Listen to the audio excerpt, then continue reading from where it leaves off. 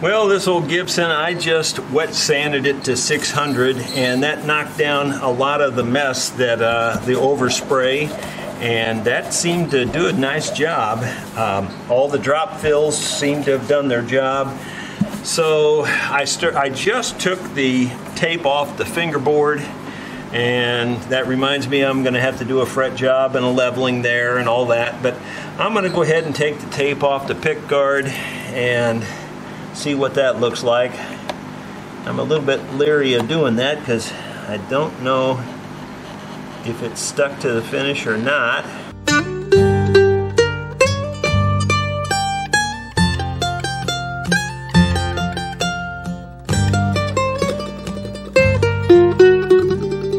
It's probably prudent to try to cut it all the way around be really nice if it would just cooperate and peel up okay.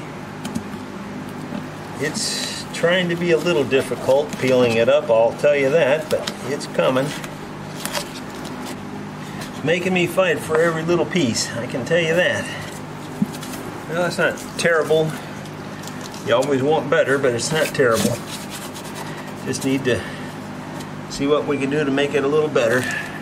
And I'll see if I can get this off.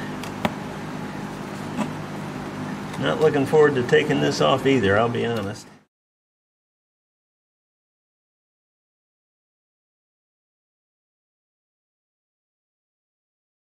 Well, we're getting there.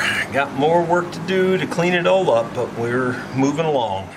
I've got this buffed out as about as good as I can do, and I'm going to go to the Renaissance Wax now in hopes that that will make it look even better. It looks pretty good though. I'm I'm overall pretty happy with it. I I've said a thousand times that every time I do a finished job, I always wish it was better. And that would be true for this one as well. But considering where we were, where we've been, and where we are now, I'm pretty happy. This has been a job and a half right here you're buffing this wax off, you want to keep your rag turning quite a bit. It really does help make a difference in the way the wax comes off. If you don't keep that rag turning, it don't come off very well.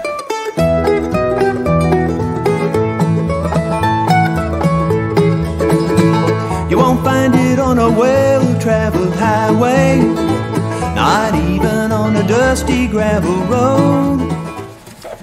Okay, we're going to move on to the next step. Well, my friends, it's Monday, July 11th, and these tuning keys came in from Stewart-MacDonald.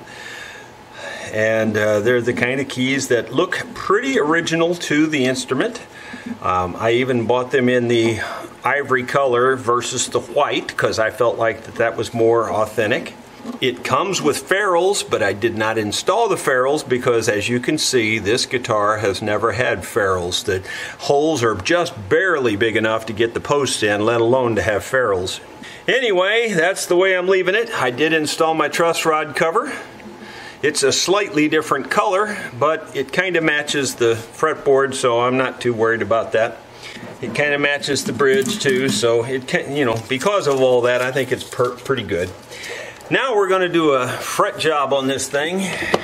I did tighten the truss rod before I put this on there because I could see a slight underbow and by tightening it, it looked like it went away. So I think we're in good shape. I think we got a little bit of a rock right here. I can feel something.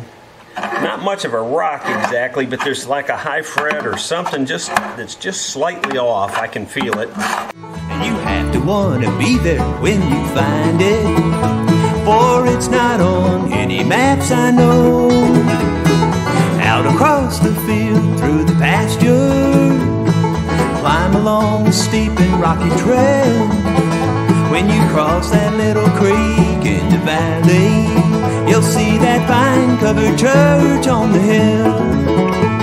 That vine-covered church above the valley, where the congregation gathered to pray built with their hands from the forest, now stands as a marker for the grain. Got got some 600.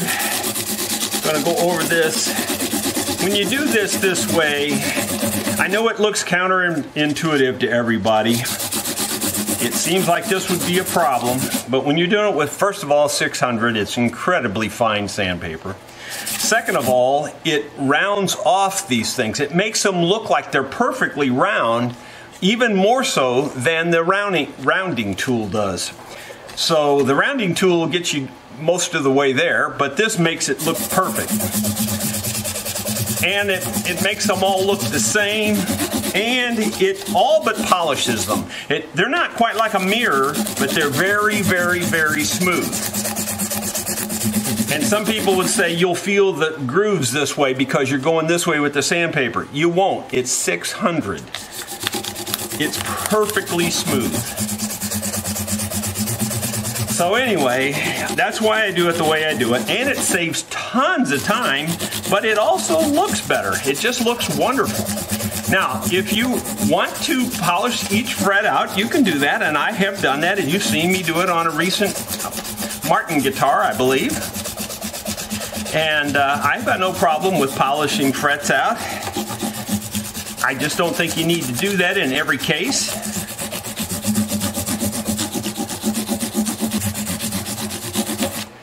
Makes them look really good. Now, of course, the fretboard looks terrible, but just look at the frets. And then I'll show you what the fretboard looks like after I clean that up. Makes them look really, really good. All right, so now we're going to clean up the fretboard. And uh, this, by the way, and I, you know, you might say, oh, you're just saying that, but it really does make it easier to know where the fretboard needs to be cleaned up because it dusts, it dusts the fretboard there, and you can see it, and you can see all the scars in the fretboard. Um, before I did that, you couldn't see them all that clear, and you can see all the dirt and the junk that's on there, and this now we can clean all that up with this.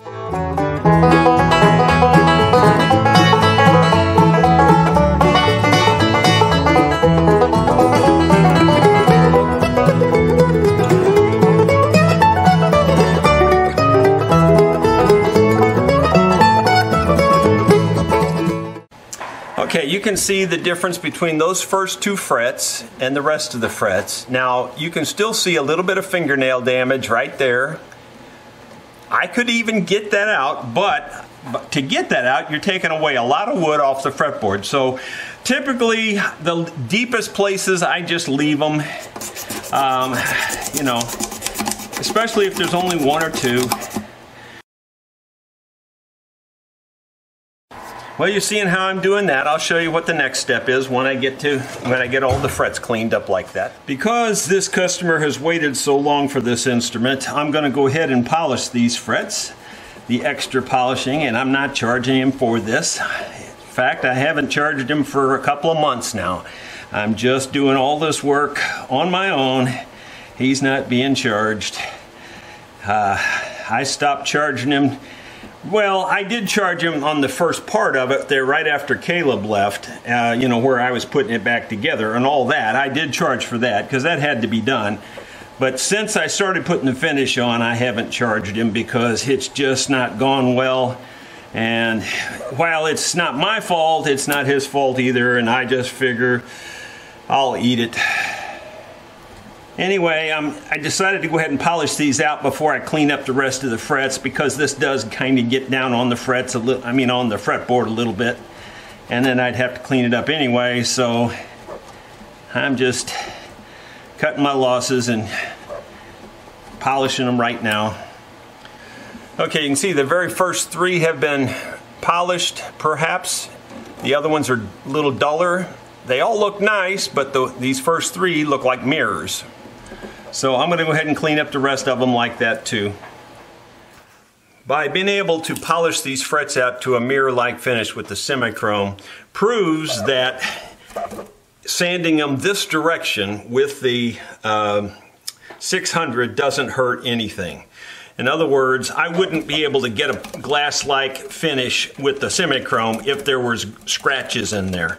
And there's no scratches at all. It looks exactly like a mirror. So, for the skeptics out there, too bad, so sad. You just don't know what you're talking about. Just about done with the polishing here.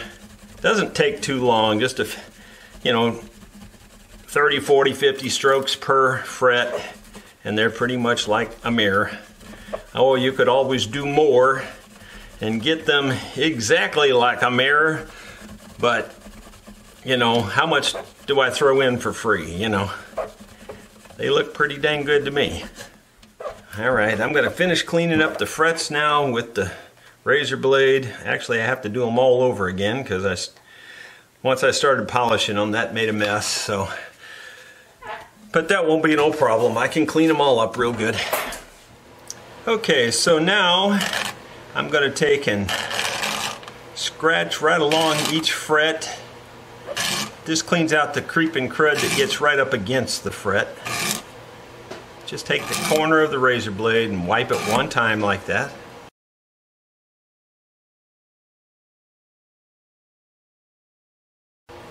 This is probably one of the most important places to clean that junk out because if there's anything sitting up under the string right there, that'll cause a problem too. It'll cause a problem with your intonation, it'll cause all kinds of issues. So, turn it around, and clean off the other direction on each fret.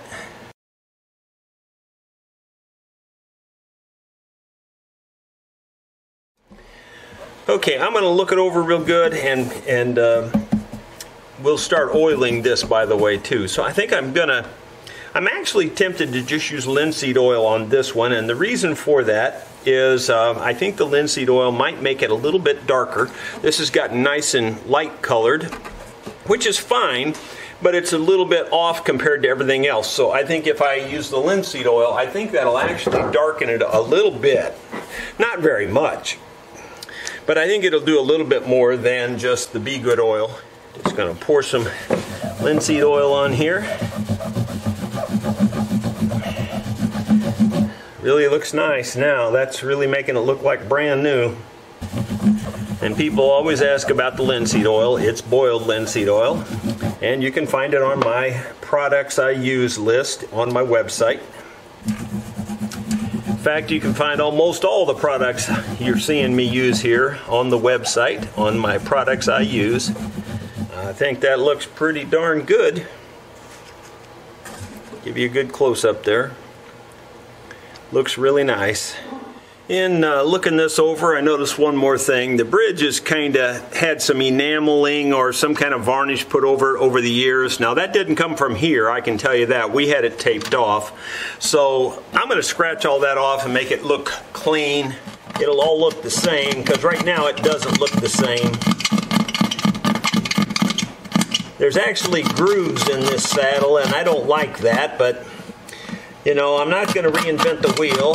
If I don't need to take the saddle out, I'm not going to. This is one of those saddles that's pretty much glued in place. And I'm going to clean off the front of it here. It's just dirty mostly. It's just grime and junk on it for years and years of playing. I'm just going to use a X-Acto knife, I think. Siding and shingles are tattered. The steeple leans slightly to the right. And though all the windows are shattered, you can still hear them singing at night. The brothers and sisters who worship gather in that holy place still, though they lie head rest in the valley beneath that vine covered church on the hill. Okay, I'm going to put custom lights on this baby and I'm going to hope that it's going to work without too hope it doesn't fight me too much. I just hope it sets up pretty easy because I have put a lot of hours in this thing. Now I'm going to see if these will go down in the hole and they might or they might not. They don't look like they're going to so I guess before I go any further, I'm going to run the reamer down through there and make sure the reamer goes correct correctly. I think it does already, but I'm just going to check it. Yeah, might need just a little bit. Okay, I've showed this a bunch of times, but I'll just show it again. And I'll just show it on one string. So I start on the inside, I wrap around the post, go over the top of the previous wrap, go around it again like that. So I basically, I've got just almost two full wraps. Then I go through the hole and keep it above the strings that I've already wrapped because you always want to wrap down the post and, and that means that this is the bottom part of, that's on the post. In other words, this is the lowest part of this of all the strings, this part right here is the lowest place on the post. And that's what you want. That's all it takes. You just lift it up straight like that and then take your uh, side cutters and cut it off perfectly level with the top of the post. That's what I do. And that's all there is to it. Now, on the treble side, I do that differently. These three, I do them exactly like you saw on the first one, but on the treble side, I do this different. I go ahead and put it through the hole first thing from the inside out, like, and then I just pull up most of the slack, but not all of it, just a little bit of slack right like that. And then I come back around the post on the outside and under the first string and wrap up like that. And then that locks the string in. It cannot pull out now. These little strings can typically pull uh, out the other way unless you wrap it several more times. If you, but the big strings, they're fine that way. This for sure locks them in and you don't have to worry about them coming off. Okay, I got two more to go and we'll show you what it looks like here in a minute. After all these many months of not playing, and who knows how many years before that, this old 1930s vintage Gibson L O or O O L, whatever the right word is, is about to start making its first sounds. I have not made any notes on it at all yet. So here we go.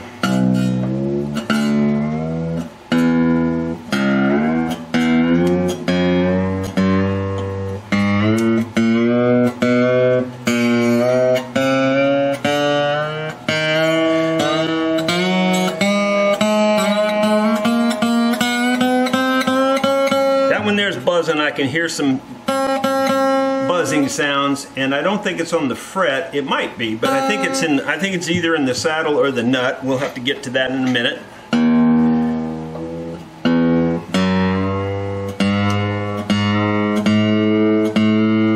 These are the custom lights that go from 12 to 52 I mean from 11 to 52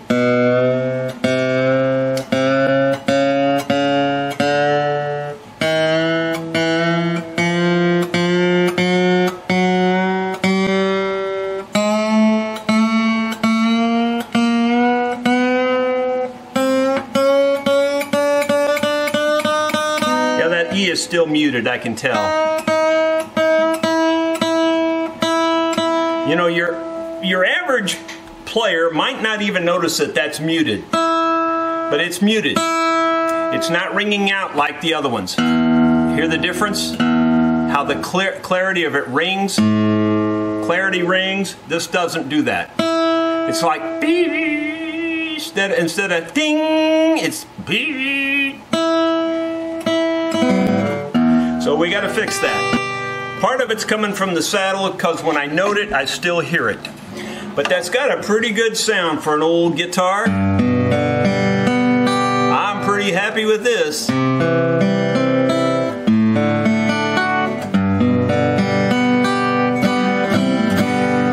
Yep, but we got to fix that sound first because that's driving me crazy. So let's figure out what the problem is. My guess is that it's rattling inside the, the little groove that's there. So I'm going to try to fix that.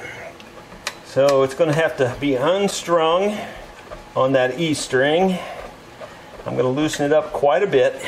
I'm going to pull this pin and we'll try my new puller here that Paul sent me from St. Louis. Wow, that thing works great. That thing's really cool. The problem is that this string is, is buzzing somewhere, and I suspect that it's in this little groove that you see right there. That groove sh really shouldn't even be there, but since it's there, I'm going to work with it. And I'm, only thing I'm going to do is take a uh, really fine file here, and I'm going to, you know, work it so that it slants one, one continuous direction to that hole. That's what I'm going to do. And I'm not trying to go any deeper, you understand. I'm just trying to make it one continuous groove to the hole. In fact, I'm even going to widen it a little bit because it could just be hanging up on the sides. But I'm just making it one continuous groove to the hole. And I really think that's where the problem is. I think it's in this saddle right here. Again, I'm not going deeper trying to clean it up. There we go. I think it looks clean now. I can. The reason it looks clean is there's no dark stuff left in the groove. It's really cleaned up. So I think we're good there. Basically, I'm just in case and for insurance purposes to, to make sure that that's the, the one place where the problem is, I'm going to do the same thing up here. And again, I'm not going to go deeper. I'm just basically making sure that there's a continuous um, angle here and that this thing's not hanging up on the sides too. Gonna call that good enough. Let's see if we can put her back together and get her to play or if we have to do more.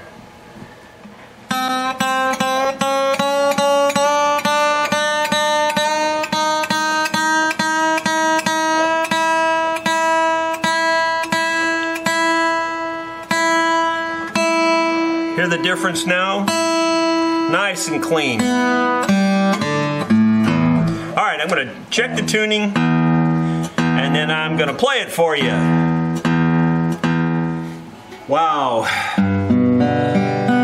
The record for the longest guitar I've ever kept in the shop and it was all due to the finish. And truly, we had to do a lot of work to this. If you remember, we took it all apart, put in quite a few new braces, a new bridge pad, straightened up a lot of things.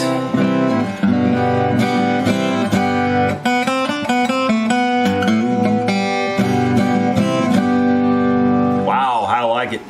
Let's, uh, before we play it, let's uh, just check a few of the vitals here. Let's just you know, just to make sure that it's set up really well. It feels like it's set up pretty darn good, I gotta tell you, just from the feel, but uh, I haven't checked it yet, so let's, let's get down and inspect it. So I got my little thin pick here. Let's look down here first. And I gotta get my close-up specs back on. Very tight already, that one's tight. So no problem there. Yeah, those are tight. All of them are real tight. They're just fine. And actually they're a little tighter than I typically set them, but as long as it ain't buzzing, I'm good with that.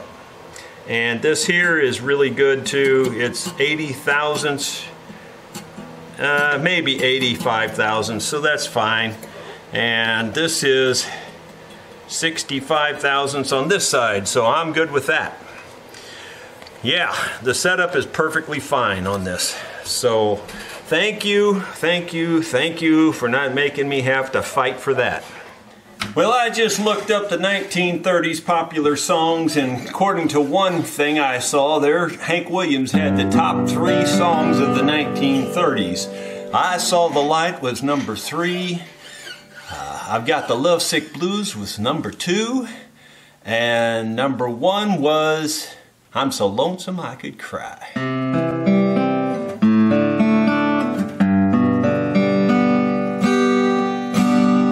I got a feeling called the blues, Lordy, since my baby said goodbye.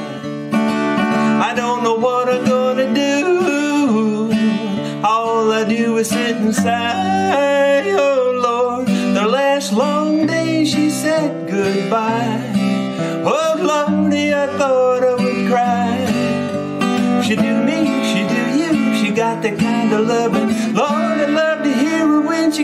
sweet daddy. Such a beautiful dream. I hate to think it's all over. Lost my heart it sings.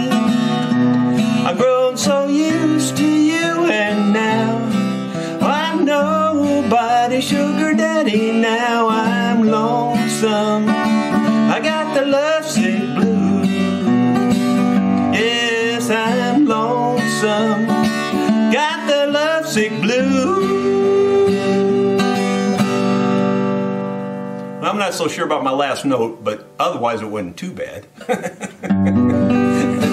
I didn't know where I was going to go on that recap. Kind of surprised myself. As I tell you, nothing is scripted here, nothing is uh, practiced. I just do it as I do it, and there you go. That's what we got out of that. But man, I am so proud that this guitar is finished. Yeah, does it look perfect? No. I ain't gonna tell you it looks perfect because it don't. When you get down up close, it you know you can see the age in it. But is that a bad thing? I don't think so.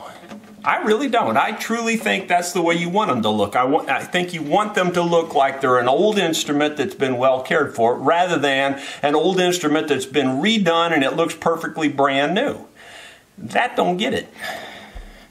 This looks really good to me. I'm really happy with it. I think Caleb did a nice job on that sunburst and uh, I did an okay job on the rest of it.